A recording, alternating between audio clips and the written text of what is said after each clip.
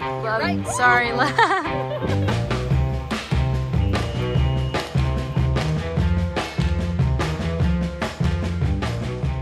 Hey guys, I'm Mackenzie, aka Costume Kenz, and welcome back to my YouTube channel where I take you behind the scenes of my latest cosplay creations. Today's video is hopefully going to be a thorough walkthrough of how I made this pink gingham dress from the Barbie movie. And I say gingham loosely, that's what people are calling it, but technically the fabric is buffalo plaid for your search query purposes. The state of the craft room right now is a little bit crazy. This is kind of what it looks like inside my brain. Let's have a see. Hello, we've gone back in time to April 2023, the day after the trailer release, to get a little look at the behind the scenes plan because that's when I started making this outfit originally. This fabric is obviously our pink buffalo plaid fabric, gingham, whatever you want to call it. Polyester lining fabric. So here she is in all of her glory. The plan is to line both outfits. I know I just said both outfits, but this video is focusing only on the mini buffalo plaid dress, not the longer dress, but I was making them simultaneously, so this is what was happening in my brain. With this white fabric, it makes the colors look more saturated. So that's the plan. Just do everything and just line it with this. And I am notorious for not lining things and not knowing how to line things. So this is gonna be a step forward in my sewing journey. A little side quest, if you will learn how to line things. I did record a video in the like chaotic state that I was in when this fabric came on the day that the trailer dropped. So I'll just show you that right here. The most exciting thing just happened and let me tell you about it. I'm sitting at my desk, I'm doing my work. I see the Barbie trailer has dropped. It's April 4th. I ordered this fabric two or three weeks ago. I get a notification from UPS. The fabric has arrived. I'm watching the trailer. I see not one, but two dresses that can use this fabric. And I based this whole, whole decision, this whole decision on a 0.5 second clip from the original teaser that we got in December. So, let's turn this into something. Ah! Is my hair really staticky? I just got shocked. We're channeling that raw, chaotic, creative energy in something that we can manage and, and wrangle in to make these dresses. Okay, thanks for staying along for that long intro and story time, but now we're going to actually make the dress. So I just took a muslin fabric to start, and I'm going to figure out how I want to do the pinning and the draping, which I didn't end up really being necessary because working with the buffalo plaid fabric is just like using fabric graph paper, so I did most of my measurements that way, but I just wanted to be safe and did a little bit of a mock-up first to see what the general shapes would be and line that out and count out the squares, etc. I was constantly looking at reference pictures of Margot in this outfit as I was making this and using the grid pattern to figure out how many squares her dress had across and how many mine should have to have the same fit and the same seam lines.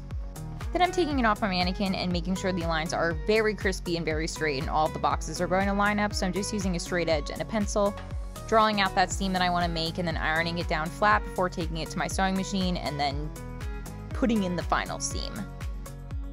Then I take it back over to my mannequin and put the lining fabric over it. I'm just going to be trying to line up the seams and pin them into place, then just going to sew that on the sewing machine and then sew these two pieces together.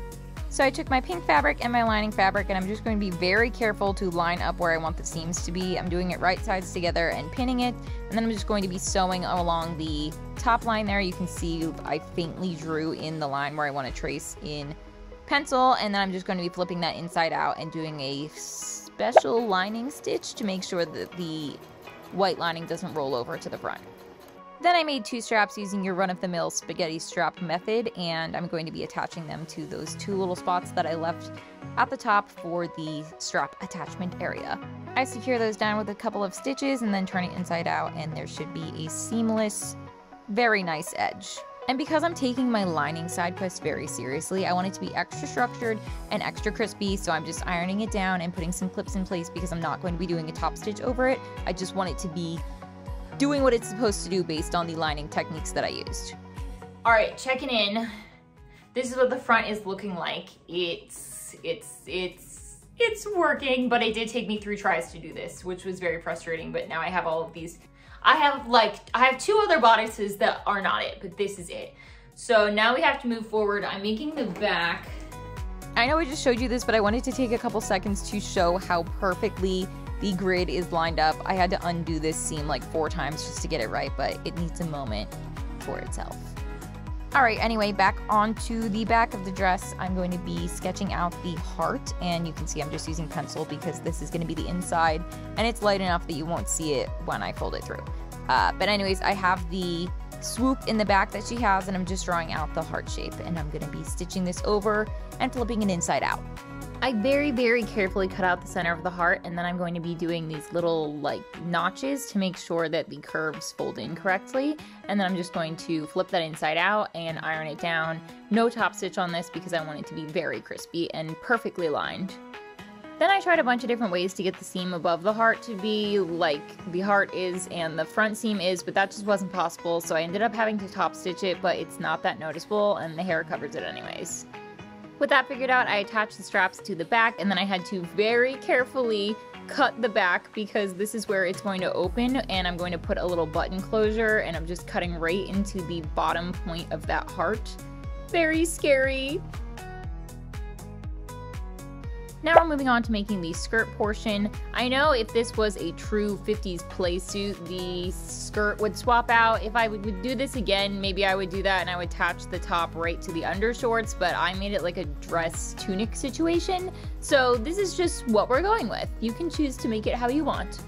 So anyways, you've just seen me use the lining fabric that I cut into a skirt shape as a guide for my buffalo plaid cut and now I'm going to be taking this up a little bit and being very careful with my adjustments because it can get really short really fast so I'm just trying to measure out how long I want it to be with allowance for it to attach to the top. And once I had my hem at the right length I'm going to be folding it under so that I can create the scallops and that's a whole process so let's get into it. There are definitely in-depth tutorials out there on the internet that show you how to add a scallop hem to something, but this is my first try, so you're just gonna come along for the ride. Basically what I'm doing is figuring out how long I want it to be and making a stencil so that all of my shapes will be the right size. So this is not how I would have done it if I could do it over again, but I basically pre-hemmed the bottom and I'm going to be taking it up in as straight of a line as I can get, even though there's a curve on this skirt about an inch and a half, which will give me a little bit of leeway because I believe my little scallops are one inch. So I want to have a little bit of extra room because I'm going to sew this down right sides together and then flip it inside out. Fingers crossed. So you can see here I'm just following the line that I drew with pencil of the scallop shape over top of the right sides together. And now let's flip them inside out and see if it worked. And somehow it looks like this worked on the first try, but I'm going to be ironing it down and then finding that it's not flat enough for me because I haven't given enough seam allowance underneath. So then I'm going to top stitch it even though I don't want to. Since I'm making this a backless dress tunic situation, I'm going to be attaching the skirt to the top and just figuring out what the middle of each piece is and lining up where I want to attach them and just sewing all along the edge. With those two pieces attached, I'm using these very Barbie buttons to close the back. It's almost impossible to find the right color of small game to match this color. This is the closest I think we're going to get. I literally express shipped to this guy and it looks orange in comparison. I hate color theory.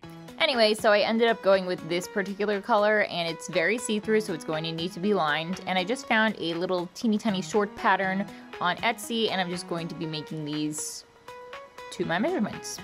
And since I'm still on the figure out how to line things side quest, I'm lining these like kind of correctly, but spoiler spoiler alert, it did not come out amazing and the lining kind of hangs out because I think I made the lining piece a little bit bigger than the shorts piece, the exterior piece, and it's just not right. So I would say the dress lining, one point. Shorts lining, minus one point.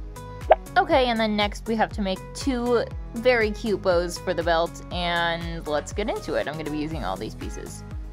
I'm basically going to be making two long rectangles that I'm going to fold in half and create the bows with. I cut these rectangles in half and then I start making my bow shape, which I'm just going to top stitch down because this part is going to be covered by that little center fold over piece. And here are all of the pieces separated and just sew them together and there you have some bows. Okay, now onto the hat. First, I get a lot of questions already about where did I buy this hat. The answer is that I made it.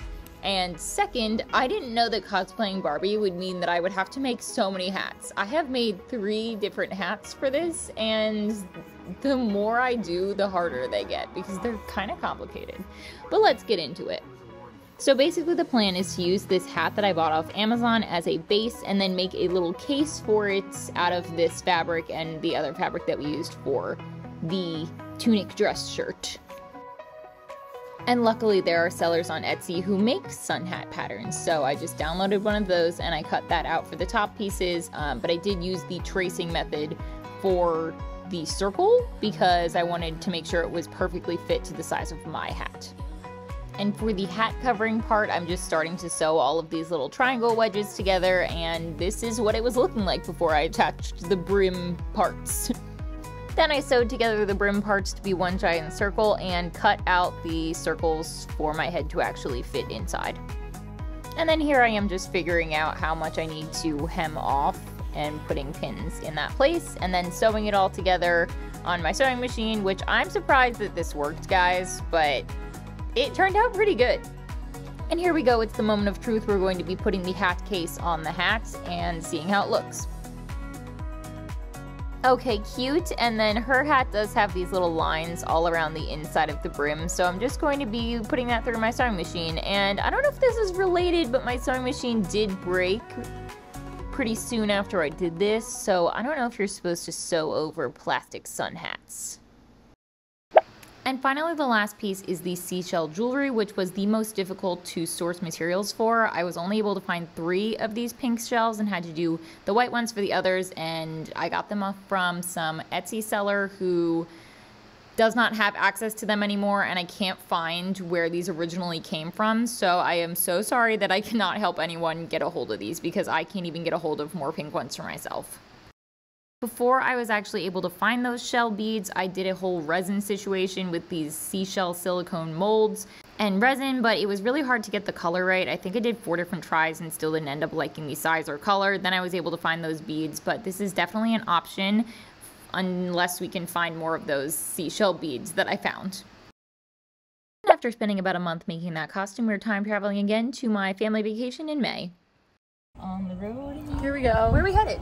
Headed to the beach. Oh look my lip gloss. She looks like me. It's freaking me out. it's freaking me out. That was like a Wreck-It Ralph laugh. no, a Seth Rogen laugh. Let we're, everyone know. Okay, so what? currently we're on vacation at Bald Head Island. Yes, look at that bridge. There's a nice bridge over here. It's bridging. All right, this is not a parking area, but this there's not really rules of the road. Is, there's no rules here. Okay, your one job is one other job for you is don't lose the keys. My one job. I have all the jobs. and here's a little behind the scenes of the photo shoot that I did with my sister in this bridge area. And then we went to the beach in a couple other locations. So just enjoy this BTS and we'll get right into the official grand reveal.